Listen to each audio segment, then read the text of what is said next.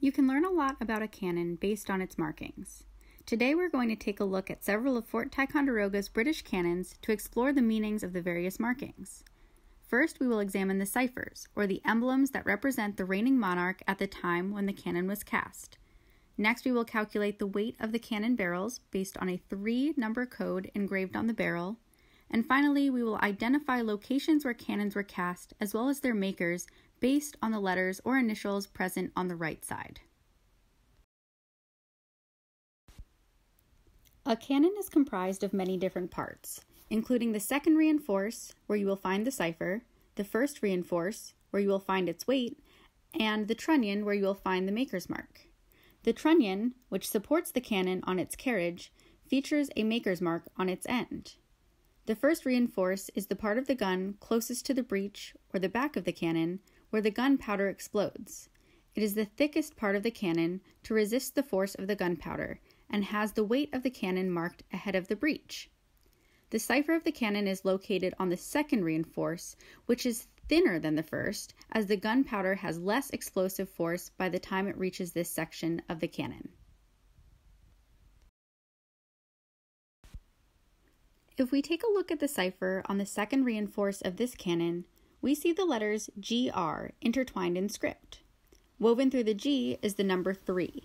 This indicates that the cannon was cast under the reign of King George III, who ruled Great Britain from 1760 until his death in 1820. Unlike his predecessors, King George III was the first of the Hanoverian kings to be born in Great Britain and speak English as a first language.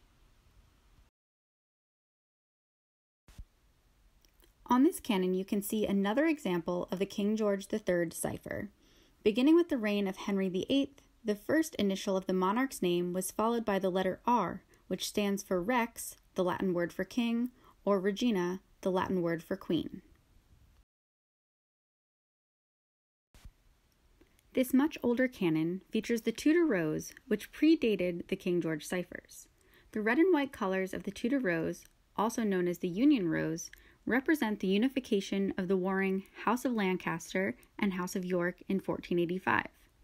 The House of Stuart continued to use the Tudor rose as their cipher until the end of Queen Anne's reign in 1714. This cannon was cast before that year.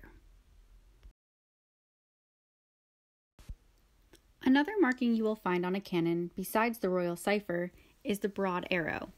The broad arrow was used as early as 1554 to denote an item as property of the British military and is still in use today.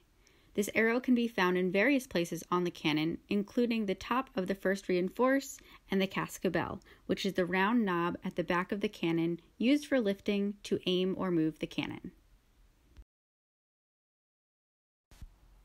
Cannons were rated by the weight of the shot they fire, which is determined by the size of the bore and not by the size of the cannon. Though cannons that fired larger shot were generally heavier, the weight of a cannon also varied based on whether they were made of iron or bronze and whether it was a heavy, medium, or lightweight pattern. British cannons were typically weighed and marked in hundredweights and fractions thereof. Rather than 100 pounds, as the name might suggest, a hundredweight equals 112 modern pounds, and thus a quarter hundredweight is 28 modern pounds. A cannon's weight is represented by three numbers separated by dashes. For example, A B C. The first digit tells us the number of whole hundredweights. You can calculate the total whole hundredweights by multiplying A times 112. The second digit tells us the number of quarter hundredweights. Calculate that by multiplying B times 28. The third digit tells us the individual pounds, which is simply C times 1.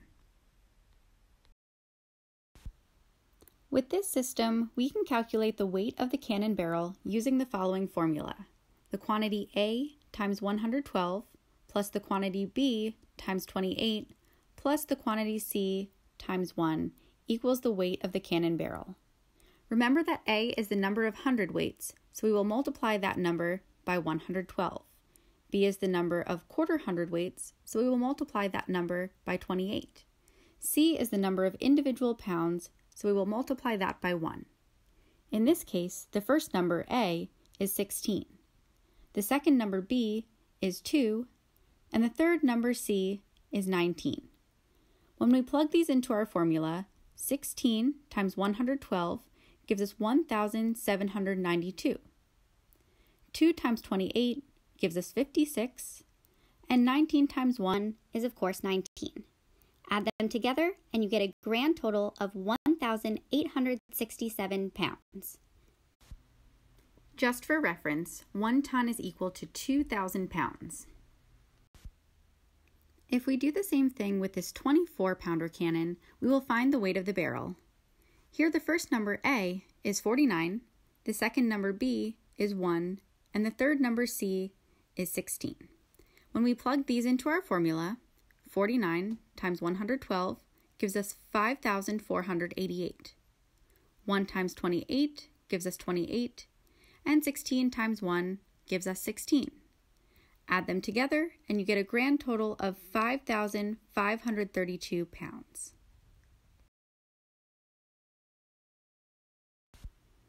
Now let's look at one final six pounder, which is slightly larger in size than the first cannon, which was also a six pounder. Despite being different sizes, these two cannons fire the same size shot. Here the first number, A, is 19. The second number, B, is 3. And the third number, C, is 2. When we plug these into our formula, 19 times 112 gives us 2,128. 3 times 28 gives us 84, and 2 times 1 gives us 2. Add them together, and you get a total of 2,214 pounds. Casting cannons was an artisan craft in the 18th century. Master founders oversaw the melting of iron and pouring it into three part molds set into the ground. With the weight of this hot melted iron, this work was tricky and dangerous. Letters on the end of the trunnion were like the signature of the master of the foundry. This cannon has a maker's mark IC, which indicates this gun was cast by John Churchill. In the 18th century, it was common for the letter I to be used to represent the letter J in abbreviations. The Weald was a region in the southern English county of Sussex. Family foundries in this region specialized in casting iron cannons since the Tudor dynasty back in the 16th century. This cannon bears the mark B, which was one of the more common trunnion markings and indicates that this gun was cast at the Brede Foundry near the town of Battle in Sussex. Thank you for participating in our artillery marking activity. Your participation allows us to continue our mission of preservation, education, and fostering active discussions about the impact of the past on present and future generations. Please feel free to contact us with any questions.